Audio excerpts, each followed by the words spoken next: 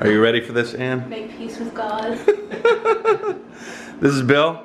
Hello. This is Ann. Hi. JaYoe. This is Ken. Oh, that, that's good now. Thank you. I, w- what's going to have you help me open the door? My hotel's over there. Ken's place is here. This is like a, a, a missionary retreat, which is kind of cool. And uh, they live here. And they have some tandems. So we're gonna do a little bit of a tandem, uh, a tandem ride guided by Ken here. He's gonna show us around. Show you the wonderful town of Hengchun. now you have to remember this has a wider turning radius than a regular bike. That, they're doing real good. I need to put a little bit more air in the tires. This is Judy. you have three tandems. I saw the yellow Yeah, one. Yeah, the yellow one is the travel one. It breaks apart. That's when Oh, you okay, okay, suitcase. okay. What got you into tandems? I mean, what was it about tandems that you really liked? It's me. you needed somebody to drive you around. No, he he's like three times stronger than me. Okay. A bicycle, and he he wouldn't leave me behind. So he constantly looking, Yeah, yeah, yeah. paying attention, make sure I'm okay. But on a tandem, he doesn't Yeah, have to. yeah. And we always go somewhere together. You don't have to worry about. It's very sweet. it's- Hey, that's not so bad, huh? Not bad, not bad Have you tried stopping with it? As long as you keep going. Never stop. You're fine. no problem.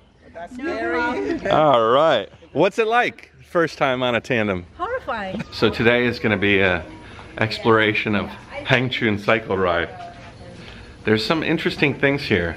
Ken gave me a little preview yesterday. I can fly the drone too. The weather's going to be good. It'll be good It'll be a good day for a change. for a change. First Yeah. day in weeks. I was getting tired of all this rain. All right, so Hengchun is uh, north of Kenting. How far north of Kenting are we? About 50 kilometers or like 20 kilometers? 15 or 50? 15. One five. 15. Yeah. So really close to Kenting. I'm gonna keep this ride a little bit slower. No, no. Riding. I'm just gonna be coming up and around and down. How's it going? Great. Awesome. I'll be your cinematographer for today. Just bouncing up and down between the two two bikes.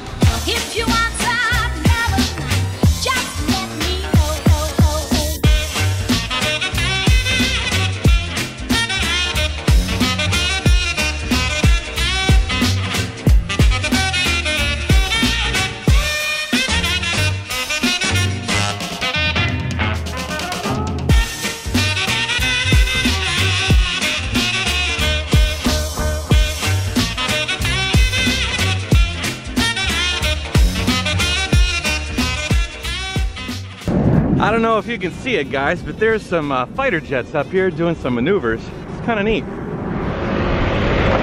I'm used to being the craziest guy on wheels. Now I've got to share it. I've got to share the moniker. And before you guys start bitching at me, I know I don't have my flags. I forgot my flags at the hotel. We're visible as a team, all, all three of us, so we're all right. When I ride alone, it's important I have my flags.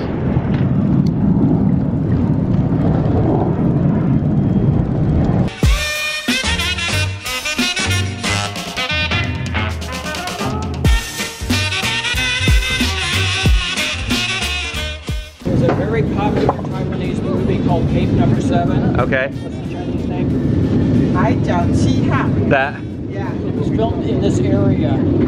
This is the house that the postal guy lived in, one of the main char characters in the movie. Oh, okay. And the boy so, on, young man lived on the upstairs. You guys want some betel nut? some pinliang? It's really good. You don't need lipstick, you just eat the be- betel nut.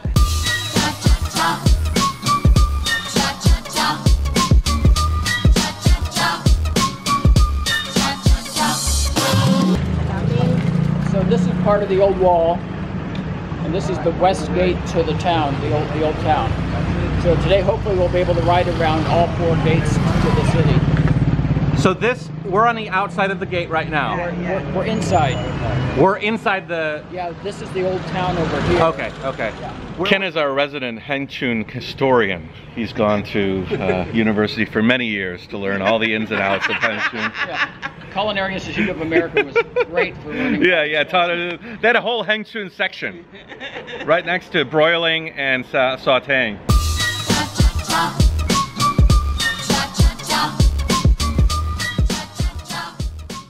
It's interesting how these tunnels are sort of an, a rarity now, but they used to be the only thing that could protect you, you know, from marauders when you uh, when you were here many many years ago. So if your city was big enough, you would almost always need one of these walls to protect you.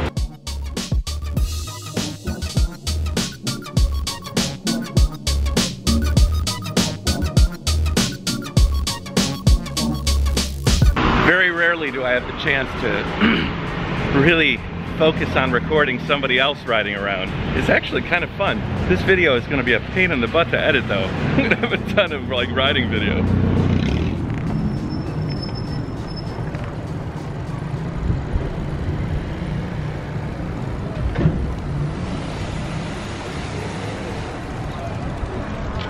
Phil was a Navy pilot. Hello. and he was saying that when he when he was looking because those those fighters F-16s Yeah, that looked like efficiency. yeah. they were actually coming through and then kind of tipping over and what was that They're tipping over to look at how they did with the bombs. so they're they'd be looking out the window to be like did I hit the target Right, exactly. interesting interesting so they're practicing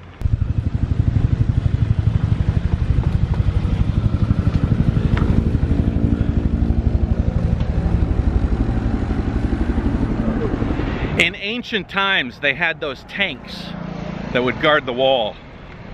That tank is about 2,000 years old. It's pretty incredible.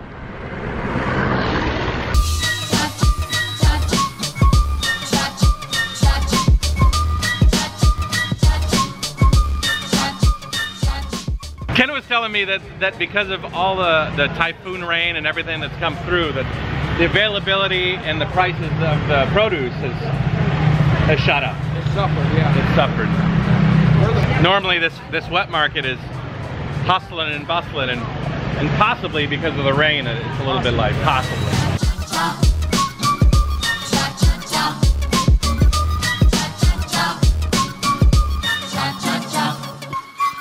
So Ken, resident uh, Hongchunian, what is uh, what is this? That is a pavilion where the locals have a contest every year to climb the greased poles. And we just missed it. It, it, it occurred about a week ago. It's on the, if I remember correctly, it's on the 15th day of the ghost month. But they have different teams that compete to climb up these poles that are greased.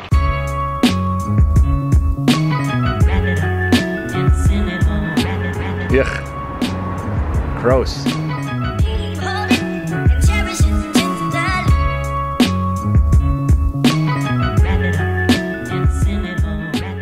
So I'm at the top of the uh, climbing pavilion. I don't know how high I am. I'm a good uh,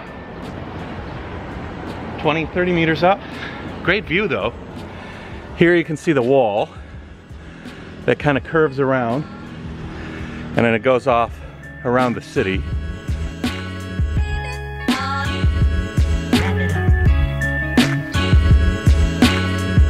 So every team is about 12 to 15 people, and as a team, does everybody have to get out on the top, or is just one guy has to reach the top? No worries, no worries. Ken's doing some Wikipedia research. I think the first, to The first person, guy. and there's one hatch at the oh top of every pole. So as soon as I think one guy gets to the top by teamwork, then, huh? Whoever gets the flag. So there must be a flag. I bet it's up here on this bamboo pole here. Yeah, yeah, maybe there's a there's a flag or something attached. And then once they get that, they win. But yeah, you can see there's a hatch at the top of every single pole stanchion. Except for this one. This one doesn't have. But this one's probably not a climbing pole. I'd ask if you're afraid of heights, but are you? You were a pilot. You worked on uh, helicopters, right? Yeah, right. you're like, yeah, right. I'm getting out of here.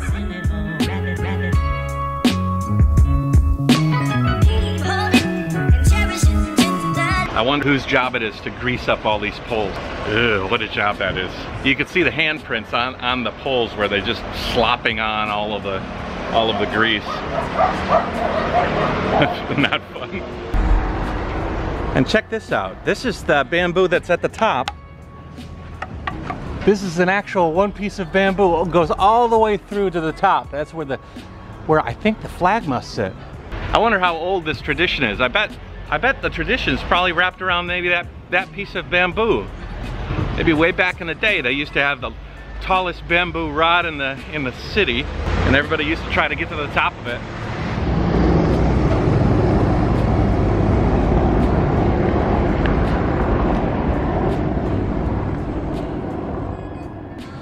You didn't see it, but we just traded traded beer. What did you think of riding the trike? Good? You're sold? Uh-oh, uh-oh. JaYoe just sold a trike. Ken's not a, not a, not, I haven't sold him. I haven't sold him. Cherish it tenderly. Wrap it up and send it home. Wrap it, wrap it. That is an odd place to sell like jackhammers and machines.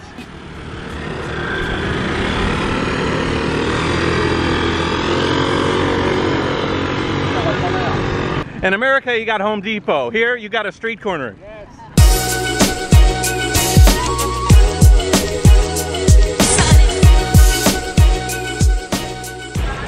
Almost done with our all-encompassing ride of Hengchun. Nice little city, cool people, little eclectic, some culture, and some decent bars it looks like. You want to go out at night.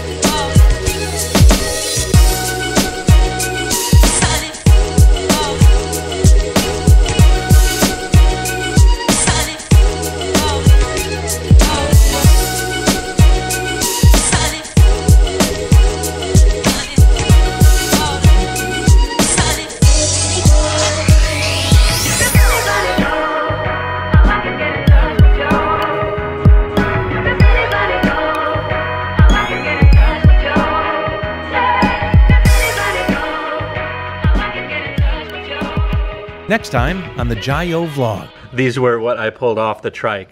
This metal was totally scraping off. Animal forbid. To eat or to bring. So the wall just circulates the whole city. so those rings out there, that's what they do target practice on. It's not an abandoned nuclear power plant.